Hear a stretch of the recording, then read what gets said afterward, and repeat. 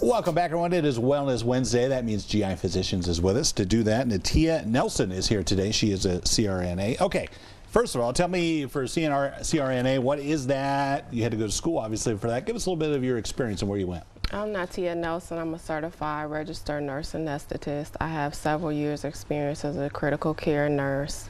And then my first master's degree is as a family nurse practitioner, which I've done for about four years. Okay. And I've worked for the past 11 years in anesthesia. You said first master's degree. Do you have more than one, or you're going for? I have two master's degrees. Cow. My first master degree is as a family nurse practitioner, and the second in nurse anesthesia. You're not messing around there. Okay, that's a lot of schooling. Okay, what type of anesthesia does a, a patient's coming in? They're obviously nervous. What kind of anesthesia? Walk us through that. What happens to them? It's called MAC anesthesia, monitored anesthesia care. So it's monitored as patients' vital signs are monitored, their pulse, blood pressure, heart rate and rhythm, capnography allows me to monitor their breathing, which is end-tidal carbon dioxide. Yeah, I don't think a lot of people and know that. So you're keeping an eye on all that stuff, right? Keeping them safe and comfortable the whole time, yes. Yeah, can I ask a dumb question? So they come in, are they, do they, for them, is it just like falling asleep? Is that what happens? It's more what we call TIVA, which is total intravenous anesthesia. So I give them propofol through their IV keep them asleep and comfortable the whole procedure so that they're pain free. Yeah, for those who've never had it, I had my first one last year.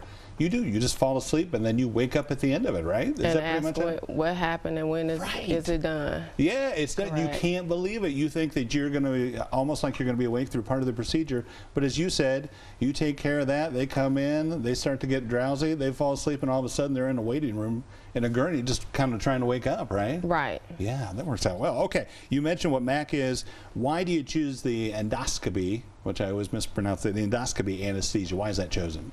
I chose endo endoscopy because I have a personal connection to endoscopy anesthesia. My okay. mother was diagnosed with colorectal cancer at 54 and she lost her battle colon cancer at 55. Okay. It's a very preventable cancer with a colorectal colonoscopy screening.